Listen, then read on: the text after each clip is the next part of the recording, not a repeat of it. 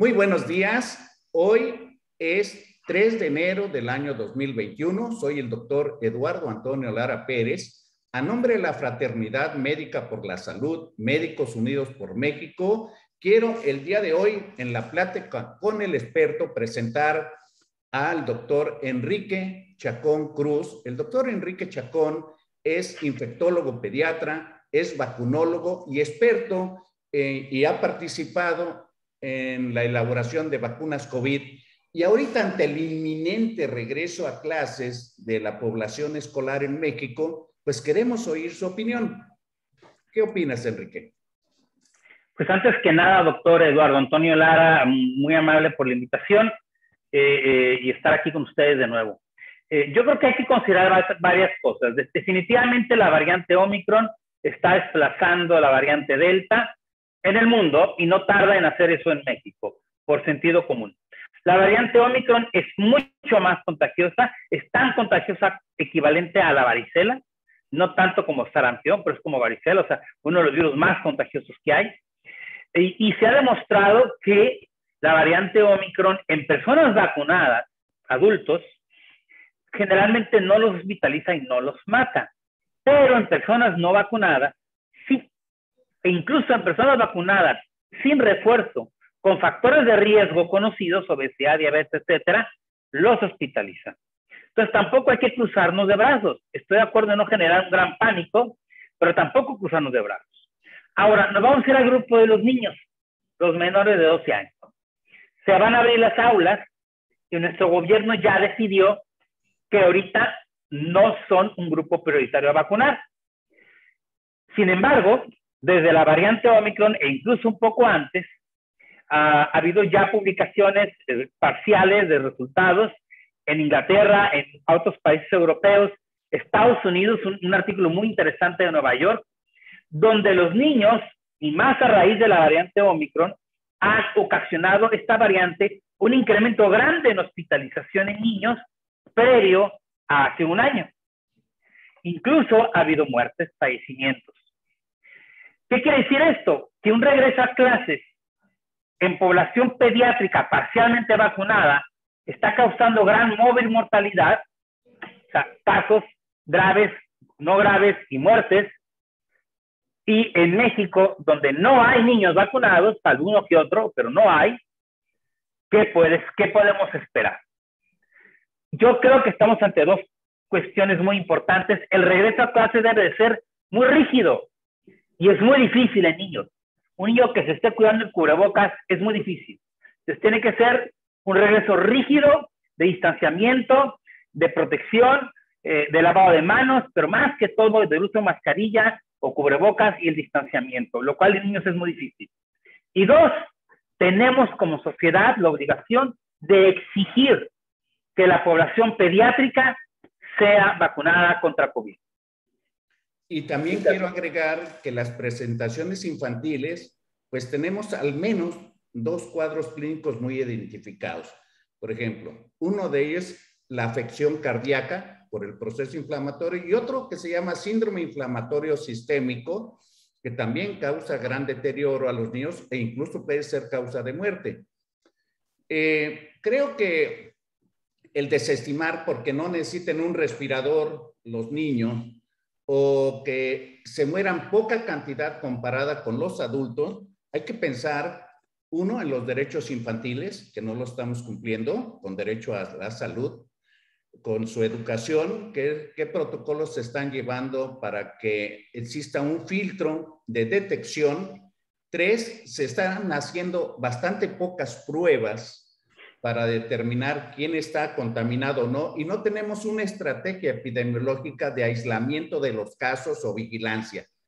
Creo que sí, eso trae repercusiones económicas, eh, eh, repercusiones familiares, eh, laborales y claro, sobre la educación.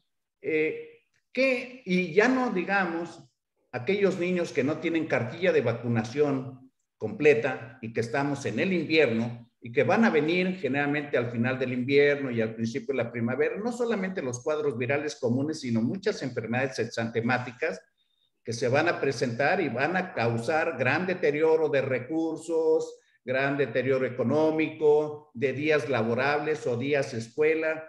¿Qué opinas de eso, Enrique? Ese es un factor muy interesante. Yo agregaría también, digo, está contemplado en el protocolo en México, pero queremos ver si realmente se va a hacer, es medir las partículas por millón de CO2. O sea, las aulas tienen que estar ventiladas.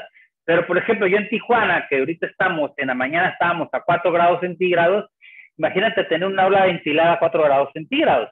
Entonces, si al niño no le va al COVID, probablemente le dé influenza o le dé, si no está vacunado, o le dé un sincicial respiratorio o, una neumonía por neumococo, qué sé yo, qué sé yo. Entonces, aquí la situación es que se tienen que llevar a cabo bien los protocolos, ser mucho más rígidos y promover la vacunación en niños. Eso es esencial. Se tienen que vacunar. Y ya lo hemos hablado antes, antes de Omicron. Y lo que comentabas, este, ese es muy importante. Eh, no podemos desestimar una variante solo porque a los adultos vacunados les da más leve. Eso, eso no, no podemos generar pánico tampoco.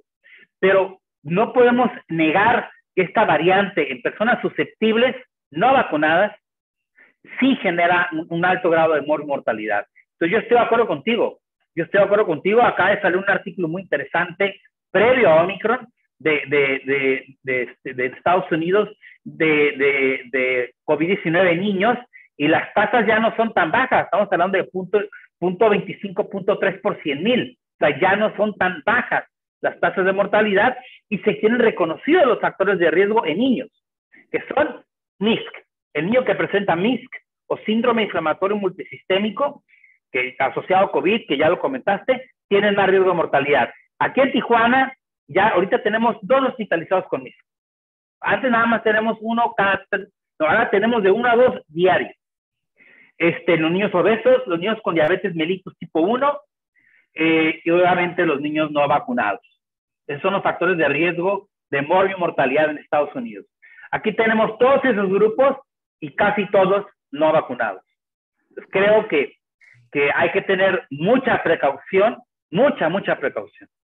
También hay otra inquietud con respecto al regreso a clases, ya no hablando de los niños, sino de los profesores, que fueron de la primera línea vacunados con la vacuna Sinovac.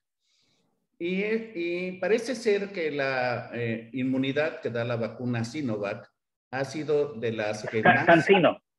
Perdón, la Cancino ha sido de las que más hospitalizaciones tienen las infecciones por COVID de, de gente vacunada. ¿Podrías aclarar eso? La vacuna de Cancino, su estudio de fase 1, que fue la primera vacuna que publicó un ensayo clínico, y si mal no recuerdo fue en mayo del año pasado.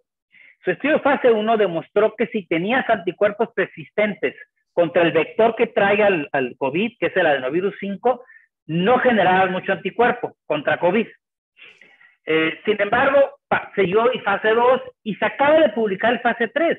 De hecho, México participa, Instituto Nacional de la Nutrición participa en esta publicación de fase 3, está en New England Journal of Medicine, y en ese estudio se ve que la, eficacia es muy buena, arriba del 90% contra hospitalización y muerte, muy alta.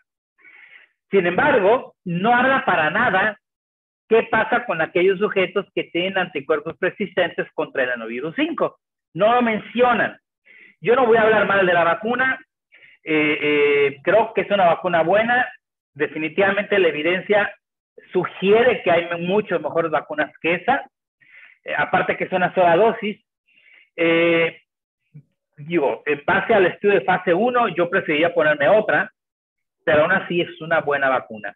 Ah, actualmente a los maestros ya se les está poniendo Astra como refuerzo y la vacuna de Astra definitivamente es una vacuna de mucho mejor calidad, utiliza un vector viral de chimpancé, la de novidos de chimpancé, de Chadox, creo que ese como refuerzo a los maestros es excelente refuerzo.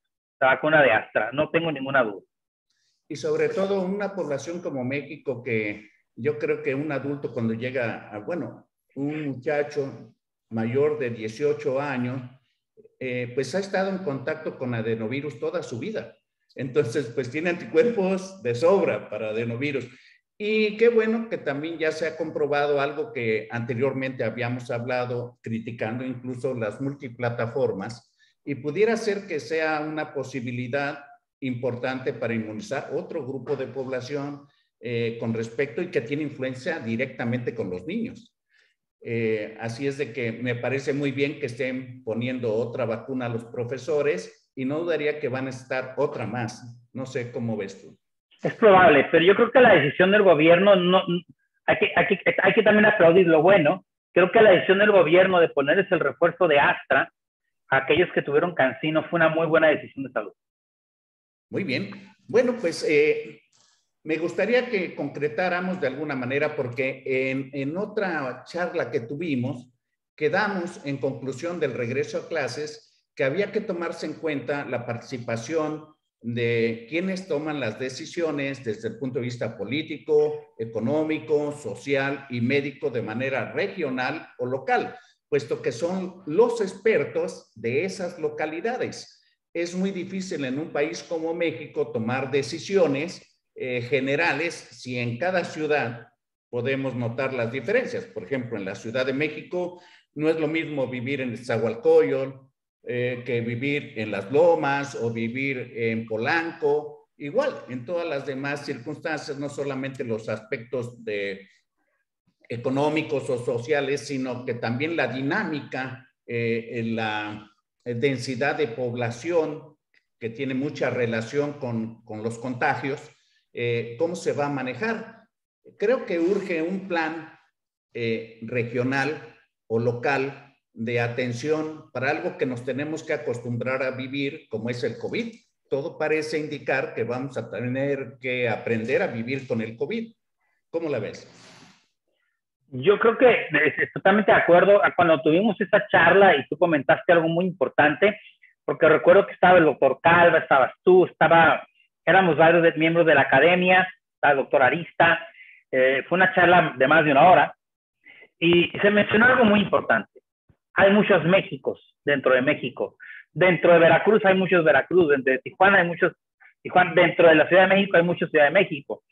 Y aquella escuela que no cumple los requisitos apropiados de distanciamiento, de ventilación, etcétera, etcétera, etcétera, no deben de regresar a clases porque no están vacunados los niños si estuvieran vacunados todavía. Pero la, mejor protección contra COVID es vacuna, no es la única, pero es la mejor. Eh, y mientras no estén y esas escuelas no cumplan sus requisitos, esas escuelas no pueden abrirse. La apertura a clases no debe ser general, debe de ser individual. Y este regreso a clases, eh, digo, tocamos el tema del COVID, pues porque es el obligado si estamos viviendo en una pandemia y los chicos van a regresar a clases en una pandemia. Pero también van a regresar a exponerse a otras enfermedades que tenemos y que se, se previenen de manera muy efectiva desde hace décadas con la vacunación. Entonces, ¿qué va a pasar con la vacunación? Y posiblemente pudieras darnos un adelanto de algo que vamos a tener muy recientemente que causa un gran ahorro en dinero, un gran ahorro en atenciones médicas, en sufrimientos familiares, etcétera. Eh, no sé si tú quieras comentar algo de eso. Sabemos que durante la pandemia se vinieron abajo las coberturas, pero eso no solo pasó en México, pasó en todo el mundo. Eh, vacunación contra neumococo, sarampión incluso. Sin embargo, por ejemplo, contra sarampión, yo, soy parte del Comité de Eliminación de Sarampión y Rubiola Congénita en el país. Sarampión realmente se incrementaron mucho las coberturas. Y eso sí es, de aplaudir. Pero lo que estamos hablando en mención y lo que estás comentando de varicela. Costa Rica, Brasil, Chile, Argentina, eh, eh, eh, por ahí se me da algún otro, Uruguay, vacunan contra varicela de manera rutinaria y de hecho países como Chile, entre otros, ya están por poner la segunda dosis de la vacuna. Y México, siendo el segundo país de Latinoamérica más poblado, después de Brasil, no aplicamos vacuna de varicela y lo que se decía era porque no había información que justificara. Y bueno, ya tenemos una publicación, yo la encabezo, en la que se demuestra que la carga económica, la carga de la enfermedad de varicela es muy alta en el país y que si México vacuna contra varicela, se ahorrarían o nos ahorraríamos los mexicanos de 30 a 50 millones de dólares al año. Pero será otra plática. Pues suena más que interesante y necesaria información. Así es que te voy a comprometer Hoy es 3 de enero, así es de qué te parece si hacemos una videoconferencia de la importancia, el impacto económico que tiene tu publicación sobre la varicela en México para el día 5 de enero como regalo de Día de Reyes. ¿Qué te parece? Adelante. ¿Aceptas? Acepto. Muy bien, pues muchas gracias al experto del día de hoy, ya lo comprometimos además, eh, y quiero agradecer al doctor Enrique Chacón Cruz su buena voluntad, siempre su empatía. Te mando un abrazo, Enrique, desde el puerto de Veracruz y nos vemos aquí el 5 de enero. Muy buenos días y hasta pronto.